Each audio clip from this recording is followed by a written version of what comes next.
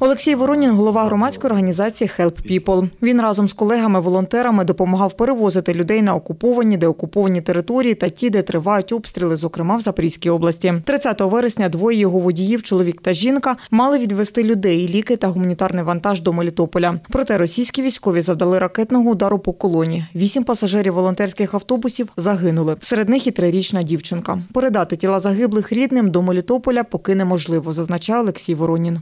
Водії зазнали значних е, пошкоджень е, одразу після приїзду МЧС та скорої до скорої помощі потрапили у лікарню. До тями жінка прийшла наступний день. Чоловік прийшов через е, добу.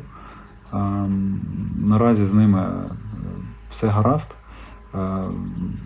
тобто поранення не критичні, не загрожують їхньому життю, але все ж таки ну, потребують е, довгого лікування. Зібрали понад 140 тисяч гривень ми власними силами, і всі ці гроші е, направлені на лікування, на реабілітацію. А також е, ми зв'язалися з родичами загиблих, які попросили доставити тіла на територію окуповану до Мілітополя для того, щоб провести поховання загиблих. Водії від спілкування з журналістами відмовляються. Як повідомили волонтерські організації, чоловіка нині перевезли до Волинської обласної лікарні і готують до операції. А жінка проходить реабілітацію у Запоріжжі.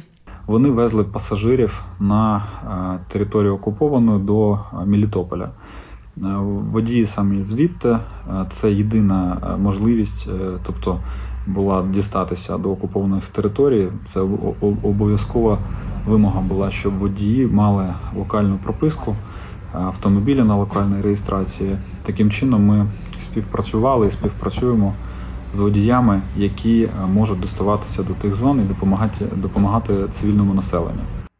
Олексій Воронін каже, з 25 лютого волонтери організації змогли евакуювати з території, де відбуваються активні бойові дії, з окупованих і вже з деокупованих населених пунктів України понад 11,5 тисяч осіб. Нагадаємо, 30 вересня у Запоріжжі окупанти поцілили ракетами в автоколону з понад 250 автівок цивільних, які чекали в черзі на виїзд на окуповані території області. За даними головного управління Нацполіції в області, загалом загинуло 32 особи, поранені 96. Маргарита Галіч, Суспільне, новини. Запоріжжя.